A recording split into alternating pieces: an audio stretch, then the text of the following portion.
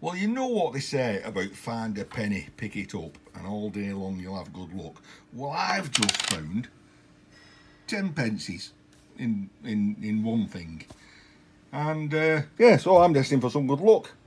Five minutes later, not five minutes later, a guy walks in with two bottles of old speckled hen. Ian Matthews, number treble one. So that must mean I have got the very, very, very, very first Ya knowz Bro sticker from the man himself.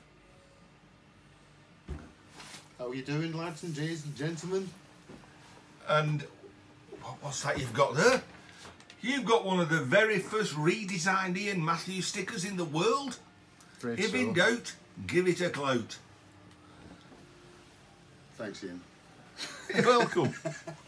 so not only that, not only two cans of speckled hen, a rarest rare sticker, but uh, look at all that. Look at that. It's only a bit of copper. And a, and a vacuum cleaner. Thanks very much. Ooh, copper. I know what to do with copper, but I don't know what to do with that, so... Yeah, hit it with a hammer, big hammer, and break it up. Get back in there.